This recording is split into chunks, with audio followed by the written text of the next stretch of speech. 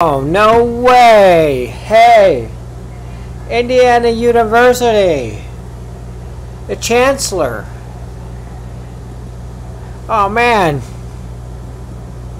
Chancellor Galdo Beckpo passed away. Oh man, he was the longest serving chancellor at Beckpo. Beckpo's visionary leadership was like 25% of the campus. 200 million.